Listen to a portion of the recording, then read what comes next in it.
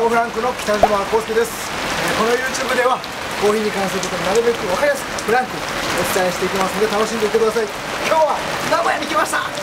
名古屋。ここです。名古屋といえばここ。わかりますか？あのうちでセミナーを受けてくれてた渡辺君の店です。ついに来ました。行ってみましょう。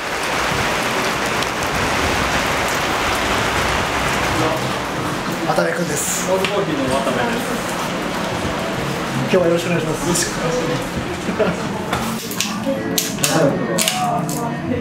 今店どれぐらいですか今はオープンが2016年の2月なんで。2016年の2月そう。4年と1か月ぐらいです。4年と1か月はもともとまあ、うちにセミナーをくれ来てくれたのが、はい、いつでしたっけ2015年の。2015年か6月ぐらい。6月7月ぐらい。2か月ぐらい。それぐらい名古屋から1回偵察に来たんですよね。うちに1回？もねそう。春春ぐらいで。いや違う半年前ぐらいか。冬か。最初は本当にたまたま神戸一人で行った時に、オープンしてまだ間もない時で入って、はい。そうね。もう。そうそうそうまだ店が、まあ、1階にある時で1階でテーブルがある時に一番端っこの窓際のテーブルで椅子に明らかに変な言葉が出てきて コーヒーを頼んだ後ずっと僕の方見るこんな感じでずっと見てるねなんか俺したかなと思ってなんかちょっとキレ気味な感じでずっとこう見てるからなんなんかありましたみたいな話聞きましたっけ？どこから来たんですかみたいな話とか。そう1回目はそれぐらいそんな感じですその程度その程度だそう。業界の人で多分思ってたんその時。いやもう全然ただのサラリーマン。ずっとこうして乗ってるか。らそうその記憶はめっちゃあるっすね。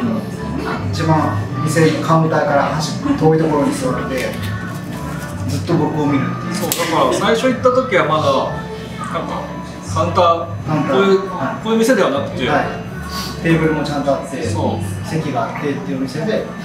で2回目行った時はコーヒーやりたいなって思ってた時で、はい、その時にちょっと、うん、確か先に連絡ししてて。そうです。連絡事前にいただいて。そうセミナーとかやってる受けたいんですけどみたいな、はい、そうです。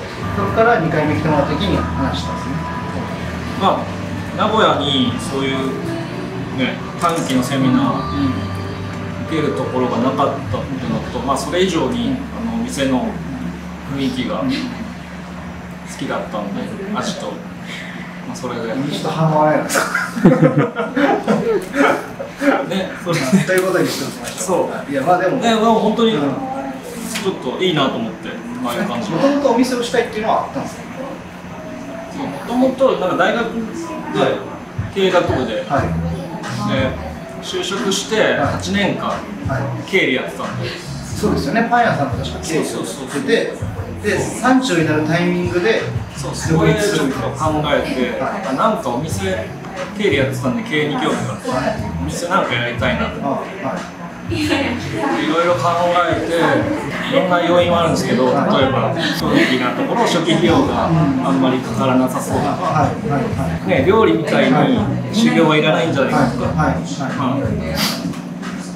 あとは、ね、コーヒーが好きだったっていうのもあってそれでコーヒースタンドを、まあ、コーヒー屋をやりたいなはい、でそこから連絡いただいて6月から約2か月間もどっかだから確か兵庫の知り合いの人岡本とか知り合いの人に泊まってた。っす最初の1か月は三宮のライオンズマンション。あ借りてそう借りてた祭り借りてその後の1か月はあのそう岡本にある前の会社の先輩が住んでるマンションに居候してもらってそれでだから結構詰め込んだんですよね。だからうちにもう週5ぐらい来てていやもう毎日。毎日だ毎日そう毎日来て朝から閉店まで。朝からセミナーをしてそこから店いて朝早かった。7時7時半とか。7時そうかそうか。Quick。Brew。Quick。そうだそうだそうだ。1か月ぐらいはみっちりなんかセミナーをしてそこから結構経ちましたよねそうですね。でその時はあの新たがもいて新たもいろいろ教えてくれて。そうちょうど新君がいて。そうです。ねあとはタック平君もで日曜だけ入ってたのかなこういう感じで。そうそうそうでもう後半の方は一緒にお店に立って一緒に営業してそうまあ、入れお客さんに入れてもらったりとかしてもらってそうそうそうで2か月ぐらい終わった後そこから物件探してるんですよ物件探してたんですけど。あずっと探してるなかなか見つからなくて。で結構長かった。ですそう。トータルで8ヶ月ぐらい探してて。神戸から帰ってから4ヶ月ぐらい後に見つかってはい。物件がめちゃくちゃいいとこですね。そうですね。すごいいいとこ大家さんもいい人お母さんもいい人そこ大事大家さそこ大ん大事事そこ大事。で今4年と1か月ぐらいかそうですね。どうですか？なんか噂によるとだいぶ名古屋でブイブイ。ブイブイ。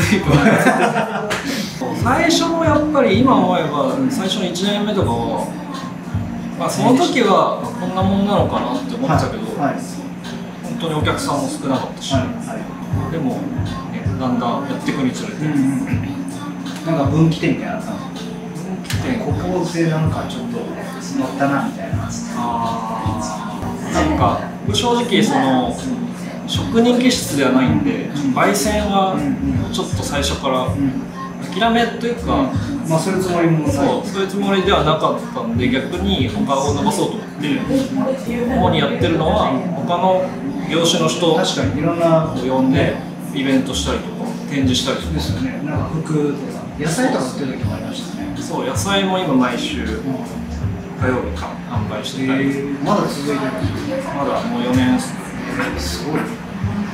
でなんかたまにこうデザイン展示みたいなのしたりとかそうですね。やっぱりねコーヒースペシャリティコーヒーって結構若い子にはハードル高いなっていう人もいるんで、例えばその子たちがね好きな展示とか、興味ある展示とかやってると来てくれて、そのついでにコーヒー飲んでくれて、はい。はいああコーヒー美味しいんだってなる、結構そこで間口が広がる。そうそう結構そういうのでなんかコーヒーだけだったら来ないような客層も取り込みたいなと。結構定期的にやってるんですか？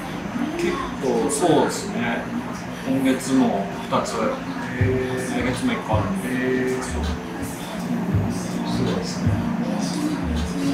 そこそれを結構しっかりやりだしてこうあなんか自分のやり方というかこの店の進む道じゃないけどそういうのが固まってるそうですねなんかねコーヒー好きな人って割と限られてるまあ確かにねそのスペシャリティコーヒーだけになるとこうこうこうなっちゃうというか。そこだけをターゲットにするにはちょっともったいないかなと思ったんで。特にね名古屋だとコーヒー1本でもうがっつりこだわってやってるっていう方結構多いんで。そうですよね。